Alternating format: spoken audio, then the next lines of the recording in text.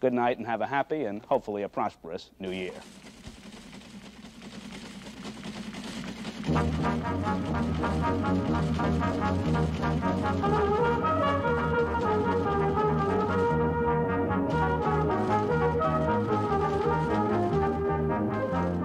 If you would like to obtain a written transcript of tonight's program, send $1 to Wall Street Week, Owings Mills, Maryland 21117. That's $1 to Wall Street Week, Owings Mills, Maryland 21117.